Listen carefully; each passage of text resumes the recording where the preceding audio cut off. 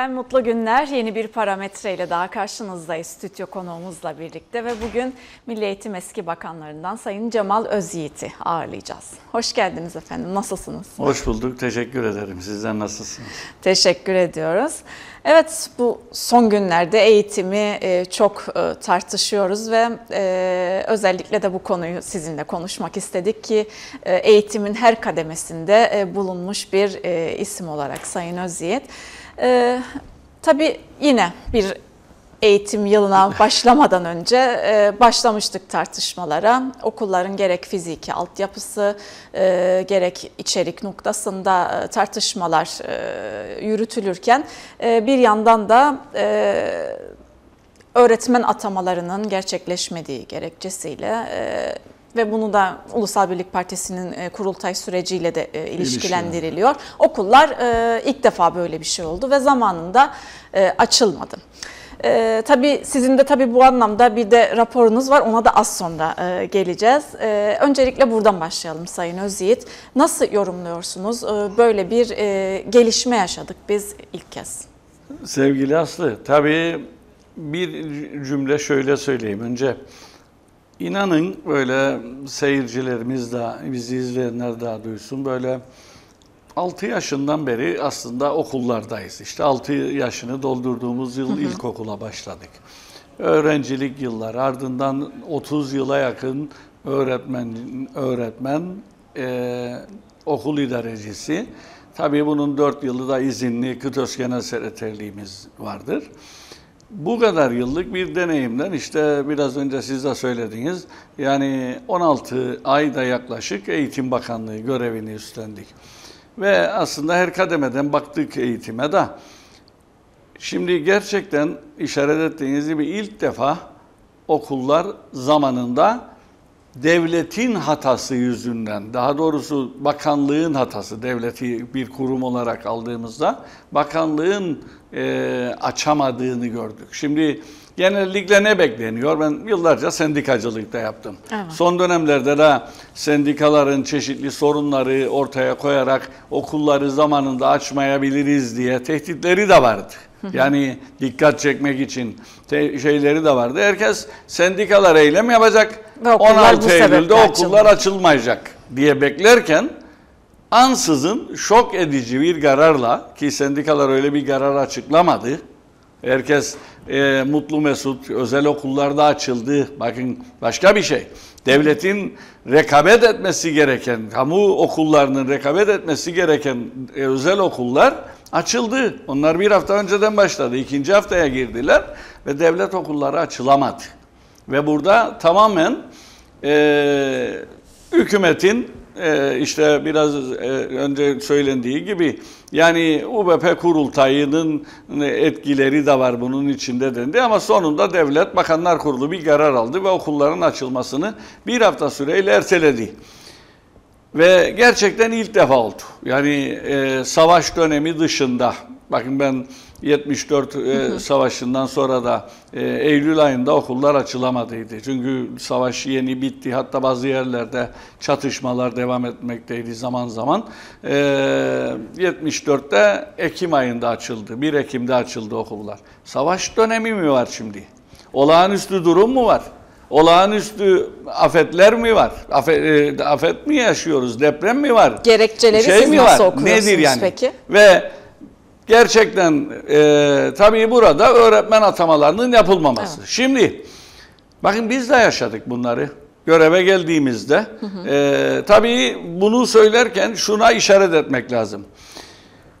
Özellikle Milli Eğitim Bakanlığı'nın hükümeti de yanına alarak diğer başbakanı ve diğer şeyleri de yanına alarak çünkü Maliye Bakanlığı'nın da yetki vermesi gerekir ödemeler açısından. Kamu Hizmeti Komisyonu'yla bunu oturup konuşması ve ayrıntılanması gerekiyor. Çünkü ben de Eğitim Bakanı iken görevdeyken 2018 yılında e, Kamu Hizmeti Komisyonu'na önceden bildirdik. Bu kadar öğretmen ihtiyacımız var, bu kadar şey. Ve maalesef hükümetin içinde bile ye, sınırlı sayıda yetkiler alabildik. Hı hı. Eksiklikler vardı. E, Kamu Hizmeti Komisyonu'na bildirdiğimizde Kamu Hizmeti Komisyonu işte sınavı Eylül'ün falanında yapacak. Ya dedim Kamil Bey, yani bunu daha önce alın. Yani başkalarını öteleyin lütfen. Çünkü okullar açıldığında, öğrenciler okula geldiğinde öğretmenlerin okula olması lazım. Hatta kendilerine örnek verdim. Bizim mesleğe ilk başladığımız yıllardaki ben 82 Ekim ayında e, öğretmen olarak göreve başladım Yılmazköy'de. Tek öğretmenli bir okulda. O zaman ne vardı bilir misiniz? Geçici öğretmenleri bile 1 Eylül tarihiyle itibarıyla alırlardı. 1 Eylül. Niçin? E, gideceği köye gitsin, yeri görsün, okulu görsün.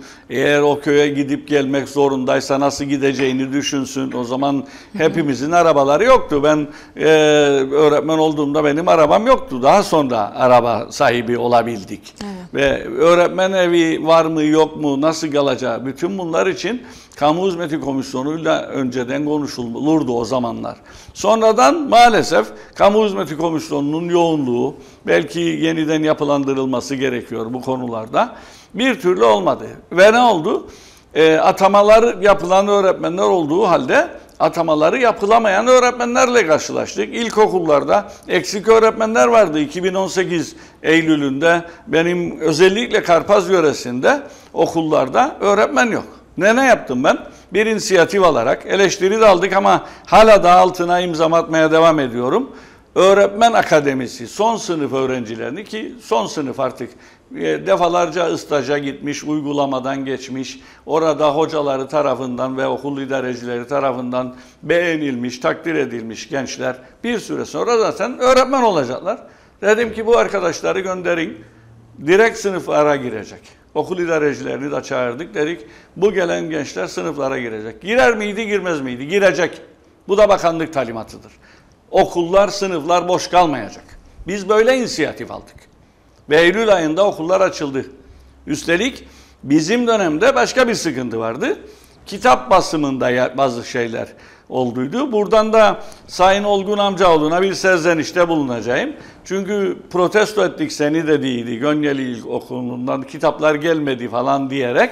Kitaplar gelmediydi belki Olgun Bey bir gün sonra geldi ama biz okulları açtık. Siz açamadınız Olgun Bey.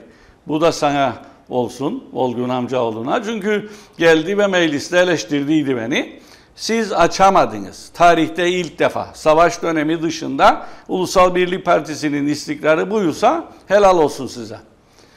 Dolayısıyla gerekli tedbirler alınabilir sevgili Aslı. Ama maalesef anladığımız kadarıyla özellikle Ünal Bey, Sayın Başbakan ve UBP e, Genel Başkan adayı belli ki çok fazla insana söz verdi. Çünkü Şimdi burada da bir plansızlık var ama bilir misiniz? Yani bakın özellikle Ocak ayında emekli olan çok sayıda öğretmen arkadaşım var. Ben hatta ne oldunuz ve gençler dedim kendilerine. Çünkü 55 yaşını dolduran emekliliğini verdi. Niye?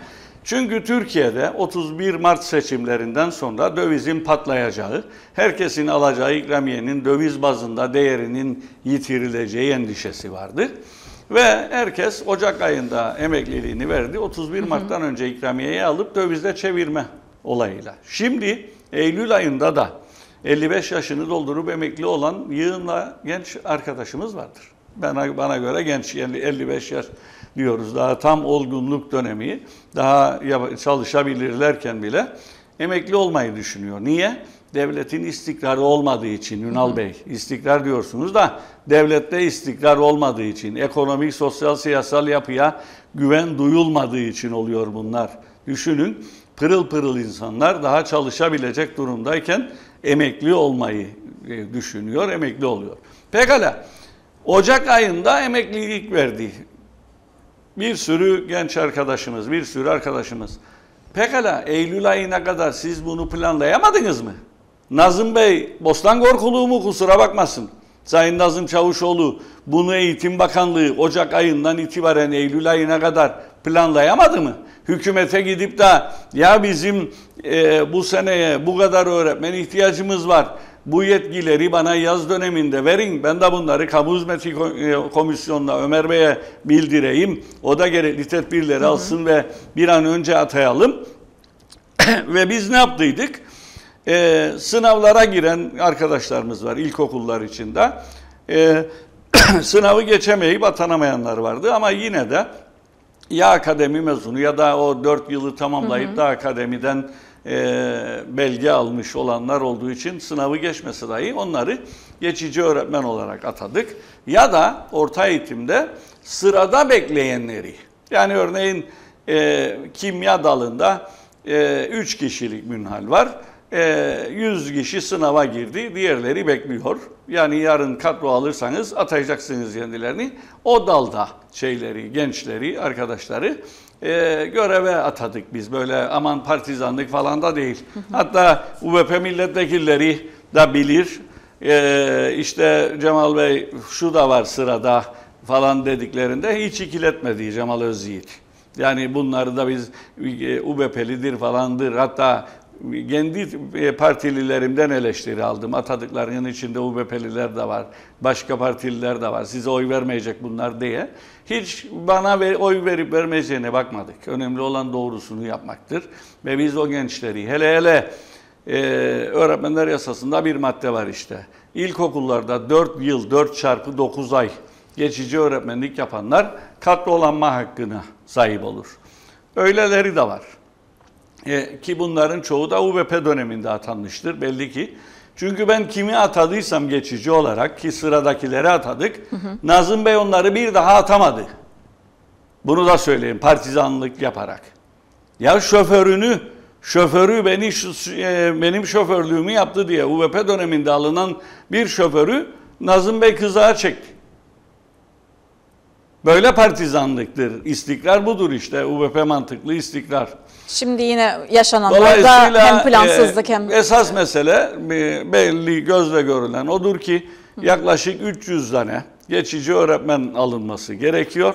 Ama belli ki Sayın Başbakan bin kişiye en az söz verdi kurultay hasebiyle. Ve şimdi e, 300'ünü atarsınız, atama yaparsınız da 700 kişi ne olacak? Bunu göze alamadı ve bir hafta sonra erteledi. Bir hafta sonra pazartesi, daha doğrusu cumartesidir kurultay şimdi. Ee, pazar gün bu atamalar yapılacak. Hı hı. Yani belli ki Ünal Bey yeniden sağlam yere, ayakları yere basınca pazar günü daha hemen atama yapılacak. Ama o 700 kişi o günden itibaren keşke vermeseydik der mi diyecekler. Şimdiden hazırlansınlar. Maalesef e, UVP'nin istikrar mantığı partizanlığın daniskasıdır.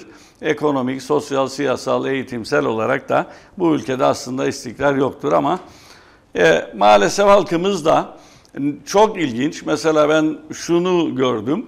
Ee, sürekli geziyorum memleketi. Mesela eğer bu hafta öğretmen sendikaları e, eyleme gitseydi de okullar o yüzden açılmasa bir grup veli en azından gidip öğretmen sendikalarını protesto edeceğiydi. Ya bir, e devleti ne yapıyor, hükümeti ne yapıyorsunuz? UBP'ye ne yapıyorsunuz? Yoksa siz de kurultaydan çıkacak sonuçtan bir şey mi bekliyorsunuz yani? Artık bırakalım UBP'nin başına kim gelecekse gelsin. Yani e, Ünal Bey değil de Hasan Bey gelirse bir şey mi değişecek? Ben ikisini de çok iyi tanıyorum. Yani değişecek mi? Değişmeyecek. Çünkü mantık bellidir. E, yapacakları hizmetler kimedir, kimin çıkarlarına hizmettir o da bellidir. Dolayısıyla UBP'nin başına kim gelir meselesi değil. Ama parti devlet bütünleşmesi olduğu için maalesef herkes bir kervanın peşinde koşar gibi koşuyorlar. Ve biraz da halkımız da kendi kendini sorgulamalıdır diyorum ben. Yani bu kadar şey olduğu halde, okulların açılması ötelendiği halde şimdi çoluk çocuğunuzu ne yaptınız? Yani hadi evde neneler, dedeler varken e, bizim de torunumuz okula gidemedi. Bize geliyor ama biz evdeyiz. Neneler, dedeler evde. Herkesin var mı nenesi dedesi evde? Herkes de ayarlamasını Herke, ona göre Hele özel sektörde çalışan ama. insanlar evde kalıp çocuğuyla vakit geçiremez. Çünkü işini kaybedecek. Bunları düşünen var mı? Ve işte bu nedenle maalesef e, özellikle çalışan kesimler ekonomik zorluklarına rağmen o yükü üstlenmede çok zorlanmalarına rağmen aman biraz daha para, para bulayım, buluşturayım da vereyim özel okula da kurtulayım, rahat edeyim diyor. Sorun niye? Çünkü devlet devlet kurumları güven vermiyor. Özellikle eğitimde ve sağlıkta kim ne derse desin iki bakan da sınıfta kaldı ne yaparlarsa yapsınlar bunu anlatamazlar. Ee, insanlar devlet hastanelerine gidip de günlerce beklemektense özel hastanelere başvuruyorlar. Devlet okullarına gidip de aman işte okul açılacak mıydı, açılmayacak mıydı, sınavlar yapılacak mıydı, yapılmayacak mıydı onları da gördük bu ülkede. Ee, gideyim ben vereyim biraz daha fazla para özel okullara da çocuğumu oraya yollayayım diye çırpınıyor insanlar. Evet. Peki Sayın Özyiğit bir başka tartışma konusu da yine e, devlet okullarıyla ilgili. O da e, okulların fiziki e, durumu, altyapı sorunu ki bu zaten e, her dönem tartışılan bir konuydu ancak özellikle de deprem sonrası bu farkındalık biraz daha üst seviyeye çıktı. Ve e, bazı okullara zaten e, el atıldı e, ve prefabrik e, sınıflar, derslikler yapılma yoluna gidildi. Mecburiyetten veya yetersizlikten dolayı da bu sayı artmış da durumda. Bu konuyu nasıl değerlendiriyorsunuz ve gidip Şimdi, gözlemleme fırsatınız sevgili da Aslı, oldu sanırım. Biz görevdeyken de 2018 Haziran ayında böyle Haziran'ın ilk haftası sonra okulların kapanması artık sınav özellikle liselerde hı hı. sınavlar bitti, karneler hazırlanır, son hazırlıklar. Bir rapor geldi bana. Hasbolat Meslek Lisesi, Hasbolat'taydı o zaman, hı 4 şiddetinde depreme dayanıksızdır diye. Talimatım derhal boşaltın oldu. Aman nereye gidecekler, ne yapacaklar? Derhal dedim boşaltın, alın dışarıya her şey. Çünkü yıkılır falan herhangi birinin burnu kanarsa ben bunun vicdan azabından kendi e, şey affedemem kendimi. Yani e, dolayısıyla dedim bu derhal boşaltılması gerekiyor. Sonra süreç içerisinde gittik kamudan yetki isteyelim. Ne yapacağız dedik. Hükümetten yetki alıp e, uygun okul arayışına girdik bulamadık. Uygun okul bina bulamadık o dönemde ve e, en sonunda dedi ki yeni yapılacak. Nereye yapılacak? E, eski Bayraktar Ortaokulu'nun e, yıkılan binalarının bir kısmı sağlam var, yerler vardı. Oraya yeni bir pırıl pırıl meslek lisesi yapma kararı verdik. Ama ta bilirsiniz bütçesini ayarlayacaksınız, ihaleye çıkacaksınız da ihale sonuçlanacak. Sonuçta biz başlattık ihaleyi e, bir, bir, her şeyi bizim dönemde yapıldı. Ama teslimatı olduğunda ben görevde değildim. Osman Örek Lisesi, eski başbakanlarımızdan birinin de adını verdiler. Osman Örek Meslek Lisesi oldu. Hayırlı uğurlu olsun. Bütün her şeyini biz yaptık ama teslimatını Nazım Bey yaptı. Yani da demediler bile Cemal Hoca başlattıydı bu işi de işte ona da bir teşekkür ederiz denmedi. Neyse sağlık olsun. Mesele iş olsun. Ama ne yaptık o çocukları? Gene Hasbolat'taki Hala Sultan İlahiyat Koleji'ne gönderdik. Yer vardı orada. Daha önce Bayraktar Ortaokulu yıkıldığında da o öğrenciler oraya taşındıydı. Olur muydu olmaz mıydı? Şimdi İlahiyat Koleji ile benim e, böyle bir ihtilafım olduğu gibi şeyler oldu hep. Çünkü ben oradaki eğitime hala daha yani bunu yayınladığım şeyde de yazdım. Ee, böyle bir ilahiyat kolejine bu ülkenin ihtiyacı yoktur. Ha din eğitimi seçmeli olmalıdır. Ee, ona göre de yeniden düzenleme yapılmalıdır. Bununla ilgili görüşlerimi de ayrıntılı yazdım. Belki daha sonra tartışırız bunları da. Ama aldık götürdük. Yok Cemal Hoca kapatacaktı ilahiyatı da adını değiştirecek. Hayır bizim düşündüğümüz diğer kolejler gibi normal bir koleje çevirmekti. Hala Sultan İlahiyat Koleji'ni ama e, aldık onu götürdük oraya. Nitekim zamanı geldi. O bina e, bitince evet. e, oradaki öğrenciler de eski okul, yeni okullarına daha doğrusu eski okulu yıkılma tehlikesi yeni binalarına kavuştular. Pırıl pırıl eğitime devam ediyorlar. Hayırlı uğurlu olsun. Şimdi bakın 4 şiddetinde bir deprem. Keza daha sonra Yeni Boğaziçi İlkokulu ile ilgili bir şikayet gelmişti bana. Ve şikayet velilerden geldi ama. İşte böyle böyle bir şey. Ee, hemen gittim inceleme yaptım. Bazı çatlaklar matlaklar gördük ekiple, işte inşaat bir, birimiyle bizim. E, aldık oradaki yetkili mimar mühendis arkadaşları beraber gittik, inceledik ve ne yaptım? Yani o gelen rapora göre değil, DAÜ'den rapor istedik. Doğu Akdeniz Üniversitesi'ne, inşaat birimine, ilgili birimlere yazı yazarak dedik süratle bir değerlendirin bu binayı. Gerçekten yıkılma tehlikesi varsa çocuklara bir şey olmasın. Ha tabii sıkıntı nedir? Ee, biz görevdeyken rapor gelmedi daha. Yani 8 Mayıs'ta hükümet istifa etti. Hükümet istifa ettikten sonra rapor geldi. E bu defa bizden sonraki arkadaşlar yani yaptılar Evet. bir şeyler. Pekala. Şimdi Nazım Bey'e de hükümete de soruyorum. 6 Şubat depreminin üzerinden bir buçuk yıl geçti. Hala daha depreme dayanıklılık testi yapılmayan yüz, e, onlarca okul var. Yüzlerce demeyelim, onlarca okul var. Ne zaman yaptıracaksınız bunları? Yapılanlarla ilgili bir fizibilite yaptınız mı? Bazı okulları gezdim.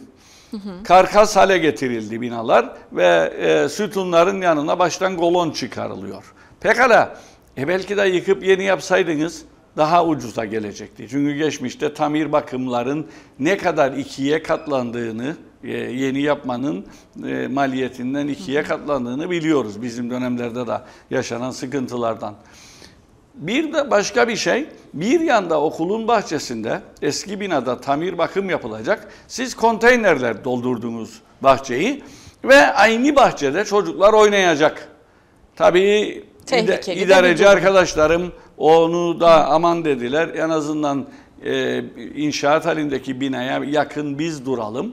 E, idari konteynerleri koydular oraya. Yıkılırsa bizim başımıza yıkılsın gibi. Bakın öğretmenlerin böyle fedakarlığı da var.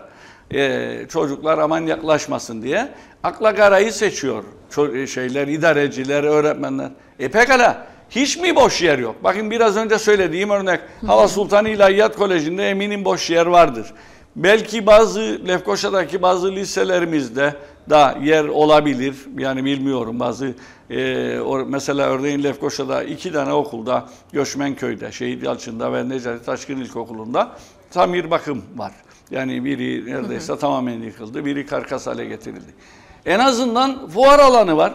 Bakın Evet, pandemi döneminde de pandemi e, döneminde de hizmet verdi. Alın o hangarları e, sınıfa çevirin, paravanlarla kesin, sınıfa çevirin. En azından deyin ki ya 3 ay 5 ay bunun içinde yapalım bu eğitimi. Bu arada da e, şey siz ne yaptınız? Konteyner. Konteyner nedir? Konteyner işte Türkiye'de gördük konteyner kentler oluşturuldu, köyler oluşturuldu. Depremden hemen sonra acil olarak el atılan bir buçuk senede bula bula konteyner sistemini buldunuz. Bir buçuk sene geçti üstünden. Ha sakın kimse para e, yoktur falan filan da demesin. E burada birilerine peşkeş çekerken devletin olanaklarını har vurup harman savururken e, hiç ihtiyacı olmadığı halde külliyeye bilmem meclis binalarına ihtiyacı yokken onlara e, paralar gidiyor da oraya mı para yoktur?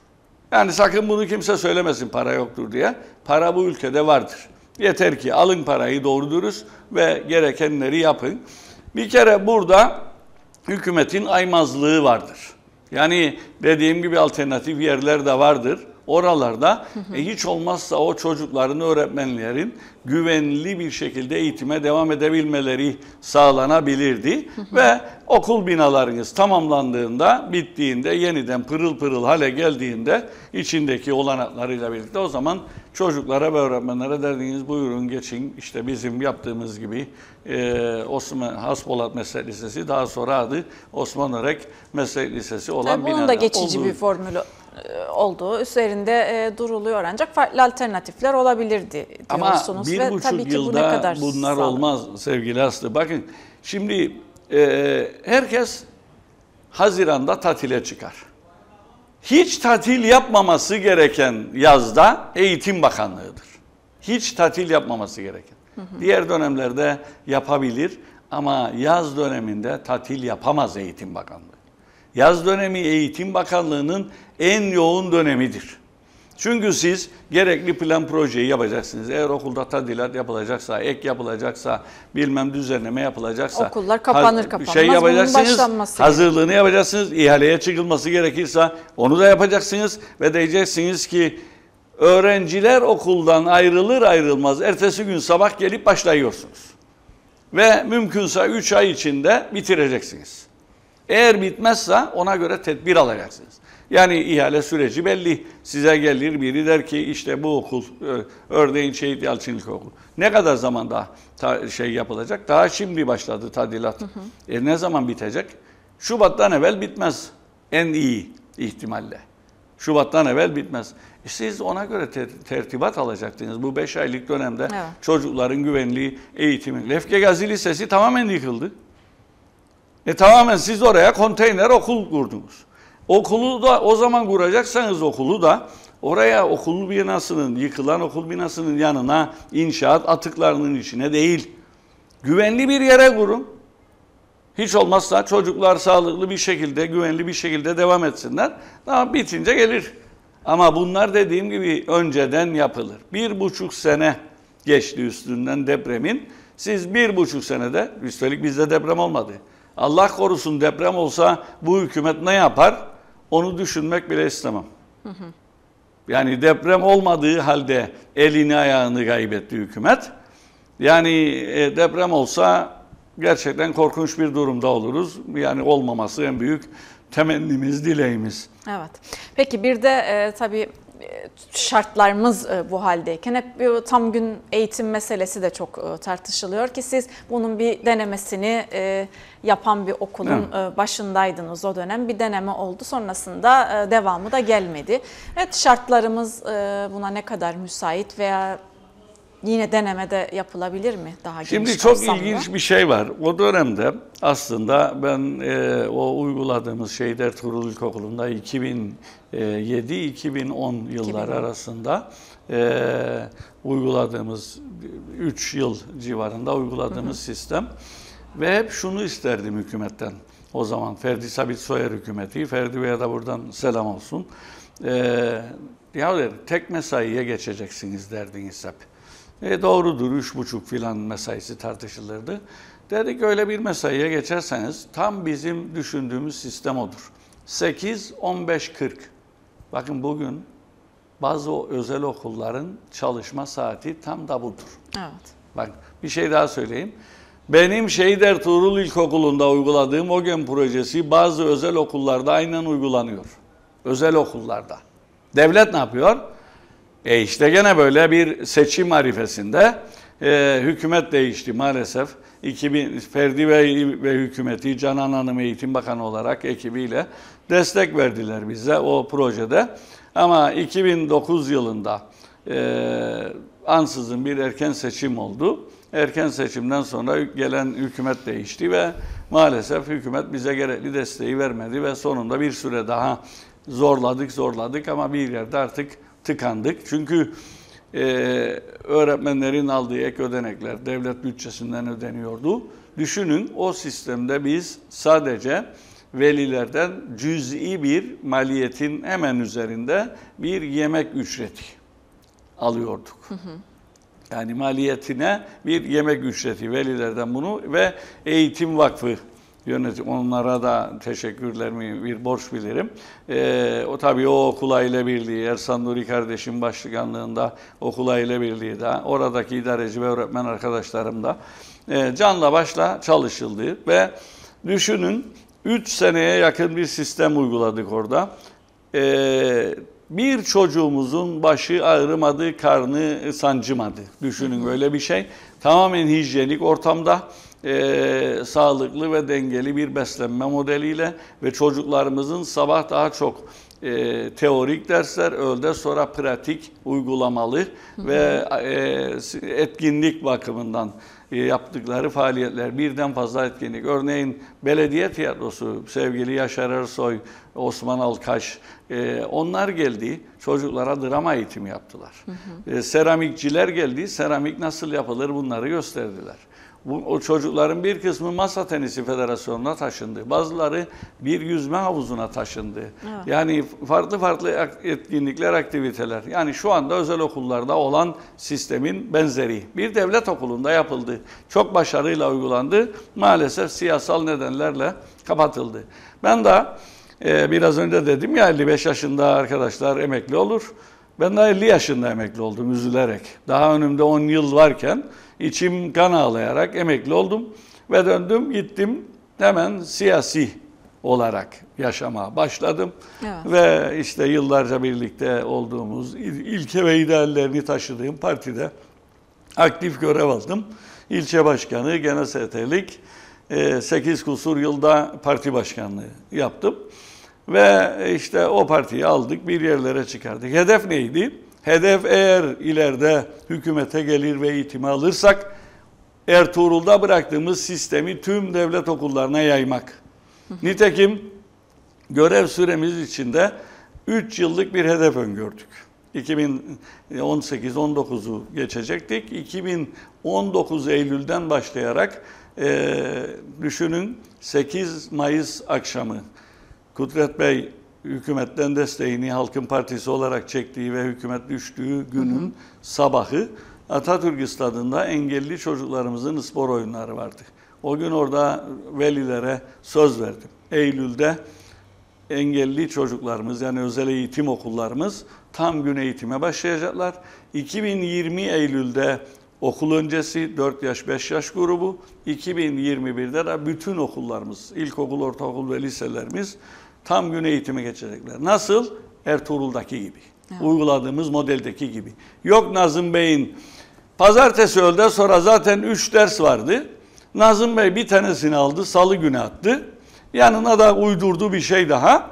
Alın size tam gün eğitim dedi. Öğleyin bu çocuklar nerede yemek yedi Nazım Bey? Arabaların içinde çocuğunun ağzına yemek tıkıştıran insanlar gördüm ben e, fast foodcuların biri gider öbürü gelir neredeyse birbirlerine çarpacaklar yarışanlar gördüm. Aç kalan insanlar çocuklar gördüm. Siz ne yapardınız? Yani tam gün dediğiniz budur. Şimdi de sanki hiç uygulanmamış gibi yıllarca bu ülkede bakın bizim e, çocukluğumuzda cumartesi öğleye kadar okul vardı. Haftanın her günü. Ama öğleyin eve gittiğimizde evde anneler ya da ablalar vardı. Biri vardı evde yemek yapıp size sunan. Yemeği yerdiniz ve okula devam ederdiniz. Şimdi var mı öyle bir şey? Köyden geliyor genç anne babalar. Evde biri yok. Çocuğunu kime bırakacak? Nereye bırakacak? Onun için işte siz doğru dürüst bir sistem yapmadığınız için, size güvenmediği için ya etüt merkezleriyle anlaşıyor. Çocuklar 12, 12.30 ya da 1'de çıkıp bir etüt merkezi tarafından aranıyor. Oraya gidiyor. Ya da der ki e ya işte etüt merkezine veriyorum bu kadar para. Bir iki bin lira daha vereyim de gitsin özel okula diyor insanlar. Biraz önce söylediğim gibi. Devletin sunduğu budur veliye. Devlet diyor ki gidin, gidin. Gelmeyin devlete diyor aslında Eğitim Bakanlığı. Bu değil. Biz de tersini düşündüydük. Şeyh Ertuğrul'daki gibi bir sistemle sağlıklı ve dengeli beslenerek gerçek anlamda eğitim yaparak şu anda özel okulların yaptığı gibi bir sistemi devlete egemen kılmaydı hedefimiz. Olmadı. Siyasi ömrümüz vefa etmedi ama en azından işte bugünlerde yazdım. Arzu eden arkadaşlar hem sosyal medyada vardır hem evet. de şeyde vardır, bir gazetemizde de çıktı. Evet. Gelelim o notlarınıza yani, ve şey olsun raporlara. ama şudur söylemeye çalıştığım. Tabii. Nazım Bey pazartesi salıyı, pazartesi perşembe yapıp da ihya etmedi kimseyi. Sistem tamam değil. Bu çocukların yemek sorununu çözdünüz mü? Okullarda mı yemek yiyecekler? Hadi haftada iki gün tuttunuz kendilerini okulda. Hı hı. Üç gün orada sonra nereye gidecekler? Gene etüt merkezlerine gitmeyecekler mi? Gene sağda solda koşuşmayacaklar mı? Nereye gidecekler bu çocuklar? Yani bütünlüklüdür bu sistem.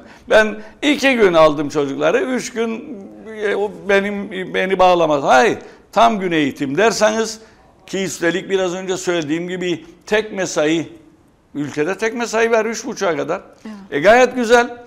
Sekizde gelsin çocuk, üç buçuk, dörde yirmi gala, çeyrek gala çıksın. Veli de özellikle kamuda çalışan veli de üç buçukta işinden çıksın gitsin alsın çocuğunu gitsin evine. Ha Orada bir şey daha yaptıydık. Bunu da söyleyeyim. Çünkü şunu duyuyorum. İşte özel sektörde çalışanlar biz üvey evlat mıyız diyor şimdi benim bu sözlerim üzerine.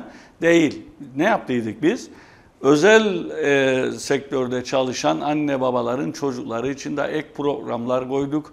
Onlar çocuklarını arayana kadar öğretmen nezaretinde ek etkinlikler, ek dersler yaparlardı. Hı hı. Devlet budur. Sosyal devlet budur. Anayasanın e, ilgili maddesine baksın arkadaşlar. Kuzey Kıbrıs Türk Cumhuriyeti hukukun üstünlüğüne dayalı bir sosyal devlettir. KKTC ebediyen diyor ya birileri, ebediyen yaşayacak. Ebediyen yaşayacaksa o maddeyi bulun, o maddeye göre davranın. Evet.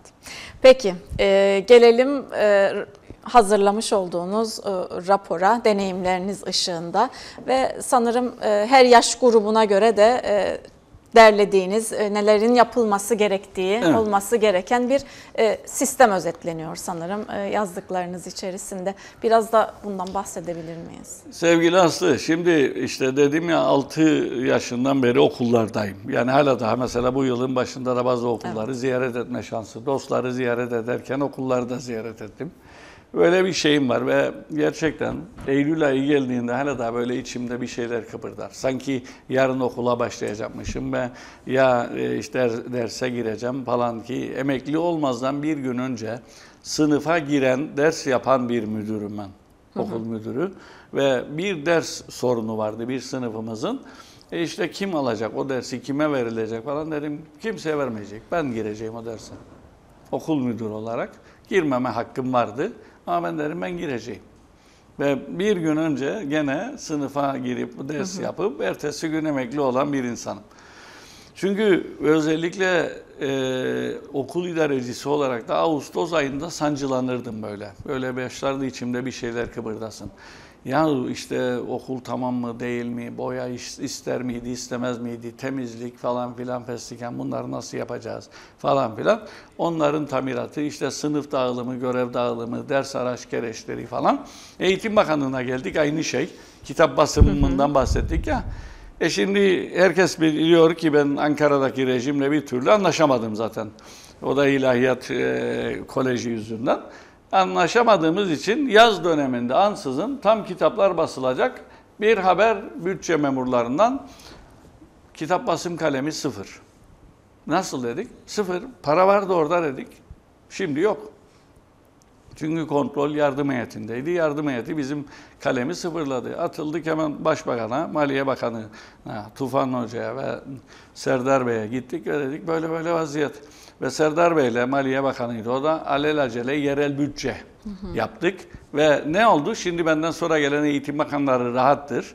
Çünkü yerel bütçeden basılıyor artık kitaplar. İthal bütçeden değil. Onun için kaynağı önceden bellidir. Yani ama biz o dönemde bir sıkıntılar yaşadık. Okul açıldı. Hı hı. Biraz bir, bazı okullara geç gitti. Kırtasiye alımında Eğitim Vakfı'ndan büyük destek gördük. O arkadaşlara da bir kez daha teşekkür ediyorum. Ama dediğim gibi işte ben öğretmen olarak sorunları gördüm ve söyledim. Sendikacı olarak o sorunlara çözüm önerdim. İdareci olarak Şehit Ertuğrul'da yaptığımız gibi uygulamaya dedim ki işte böyle yapılır. Bu eleştirdiğimiz şeylere örnek olarak da uygulama da budur. Ha bakan olarak yeterli süre kalamadık oralarda. 16 aya yakın bir süre de görevden gittik maalesef. E, hep içimde kaldı yani koltuk değil. Kimse yanlış anlamasın. Ben koltukta doğmadım. E, hem makam aracını da en az kullananlardan biri oldum. Herkes onları bilir zaten da. Mesele o ideal olarak yapmaya çalıştığımız şeyleri tam olarak uygulayamadık. Çünkü bilirsiniz eğitimde bir şey bugün aldığım kararı da yarın uygulayamazsınız. Evet. Yani en azından ders yılı biter, yeni ders yılı başlar uygulamanız için. Veya e, bir öngörü, mesela biz Vizyon 2030 öngördüydük. Niye? O yıl yani 2019 Eylül'de e, okula alacağımız çocukları, ilkokulda okula alacağımız çocukların 12 yıllık bir döneminde neyi, ne- nasıl bir insan olacaklarını planlamıştık aslında. Ama bunu ne yaptık? Velilerden, eğitim bilimcilerden dönütler alarak, onların öngörülerini toparlayarak, harmanlayarak bir vizyon 2030 diye ortaya bir şey koyduk. Çok ilginç bir şey daha. Ee, bunu da söyleyeyim. Ben ayrıldıktan sonra görevi devrettim Nazım Bey'e. Bir süre sonra baktım Vizyon 2030 toplantısına çağırdılar beni de. Sevindim. Dedim ki Nazım Bey sahiplendi bizim projeyi gider. Meğer yanlış anlamış. Zanneder ki kendi çıkardı projeyi. Yani oysa bizim bıraktığımız projeyi devam ediyor diye. Devlette devamlılık var. Yani biz e, aman bizden öncekiler. Mesela Özdemir Bey mü- e, müfredat e, hazırlama ve kitap basım yaptıydı e, bazı sınıflarda. E, üçüncü ve sekizinci sınıflar kaldıydı kitap basılmayan. Biz onların müfredatını tamamladık ve bastık kitapları. Ben Özdemir Bey'e teşekkür ederim. Ben Özdemir Bey bunu yaptı aman biz bu tamam değildir atalım da baştan yapalım demedim. Ya devlettir bu devlet. Ne sizin ne benim babamın çiftliği de değildir. Devamlılık burada çok Yani devlet devlet adamı olun biraz. Devlet e, neyse devlet yöneticisi olun. Cinsiyet olarak şey söylemedim. Yani devlet adamı böyle bir klasik laftır o yönden. Yani devleti yöneten insan olun. Devlet insanı olun. E, ne yaptık? Devrettik ve sevindiğimiz halde baktım ondan sonra Nazım Bey galiba anladı ki bu bizim projemizdi. Kapattı gitti. Hiç uygulanmadı ondan sonra. Tabii kendi bir gitti bir daha geldi. Olgun Bey geldi tekrar geldi. E Şimdi onlarla uğraşmaz. Uyduruk bir tam gün eğitim yapar ve millete tam gün eğitim yapıyor. Ha sendikacı dostlara da bir sözüm var. Yani e, işte bu tamam değil derken nasıl tamam olacağını anladın Sayın Bakan'a çünkü anlamıyor. Sayın Bakan halka şirin görünmek için e tam gün eğitim yaparım da bu sendikalar beğenmez diyor. Öyle değil. Sendikalar eksikliklerini söylüyor kendine ama tamını söyleyin. Tamına örnek işte isterseniz Şeyde Ertuğrul İlkokulu'ndaki OGEN projesi. Bugün de özel okulların pek çoğu onun benzeri sistem uyguluyor. Açık ve net. Şimdi ben döndüm işte bütün bunları farklı farklı pencerelerden bu eğitimin içinde olan, yer alan, çeşitli kademelerinde en, en üstüne kadar çıkan biri olarak döndüm ki dedim ki benim bu topluma bir borcum var ya. Bu bir borç olarak gördüm ben yendiğimde bunu bu topluma ve bu borcu için de bir sistem öngörüsü yazdım. 0-3 yaştan başlayarak 0-3 yaş ne olmalıdır? Mesela 4-5 yaş bana göre e, bugün Avrupa'da İngiltere, Almanya örneğini verebilirim. İkisinde de benzerdir. Birinci basamak sağlık hizmetleri ve okul öncesi belediyelerin kontrolünde ve yönetimindedir. Evet. Elbette eğitim ve sağlık bakanlarının denetimi ve işbirliği içinde. Gelin devredelim onlara. Zaten okul öncesi yasalda değil. Şey olarak hala daha yasal bir statüye kavuşmadı.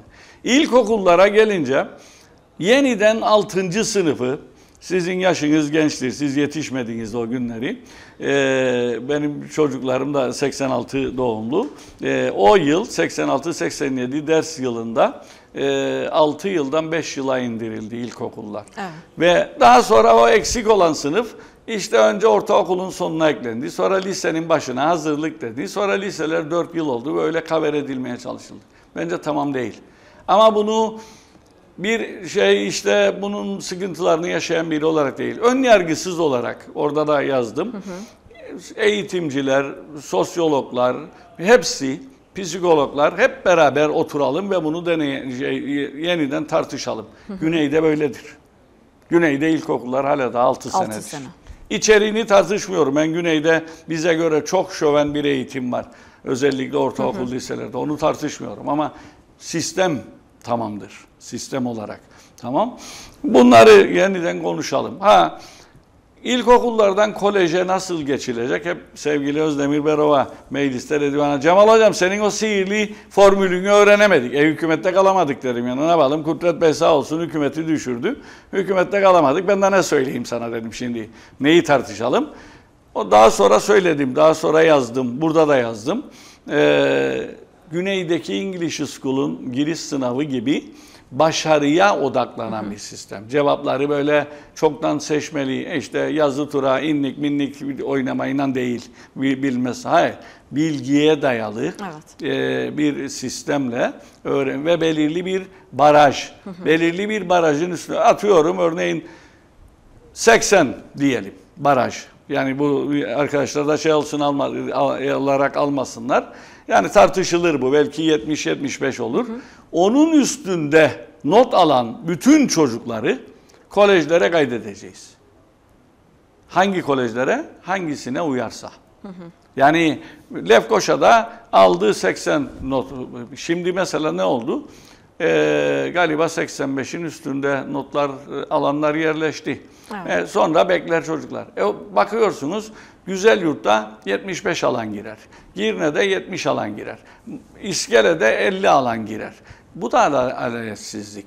Bakarsınız bu tarafta 85 alan çocuk bekler giremez. Öbür tarafta 50 alan kolejde okur. Evet, bunların tekrardan bir Bu- bütün e, bunların ele yeniden düzenlenmesi gerekiyor. lazım. Evet, ortaokul liselerin tamam, ortaokul liselerin yeniden düzenlenmesi. Özellikle bir şey daha çarpıcı. Tabii. Ortaokulda sınıfta kalma yeniden düzenlenmeli. 6. ve 7. sınıflarda sınıfta kalma yoktur bizde. Yani niye Ee, ve maalesef özellikle e, eğer Bülent Ecevit Anadolu Lisesi veya Fen Lisesi e, şeyi yoksa, motivasyonu yoksa çocuklarda ben kaç alsam nasıl olsa geçeceğim der. Oysa ben de diyorum ki iki defa ortaokulda sınıfta kalma geri gelsin. İki defa sınıfta kalırsa çocuk ki 14-15 yaşa gelir toplamda. O zaman işte esnaf sanatkarların uyguladığı o e, pratik meslek edindirme e, şeklinde pratik sanat okulu eğitimine tabi tutalım onları ve o ara eleman ülkemizin ara eleman kalifiye eleman ihtiyacı dediğimiz eğitimi yeniden yapalım. Yani bütün bunlarla ilgili ayrıntılı bir çalışma yaptım. Bunları yazdım. İsteyen arkadaşlar daha detaylı olabilir. İsteyen de da istediği platformda bunu konuşur, tartışırız. Yani ben dediğim gibi yaşadıklarımdan, edindiğim bilgilerden, deneyimlerden bu topluma bunları söylemeyi kendimde bir borç olarak gördüm ve söyledim. İleride bunu biraz daha geliştirip bir kitap haline dönüştürme şimdilik hedefim olarak duruyor. Peki, çok teşekkür ederiz Sayın Özyiğit. Ben Değerlendirmeleriniz için kolay gelsin diyelim Sağ olun size. size de başarılar. Teşekkür ederiz. Evet, bugün adına nokta koyuyoruz. Yarın yeniden görüşeceğiz. Hoşçakalın.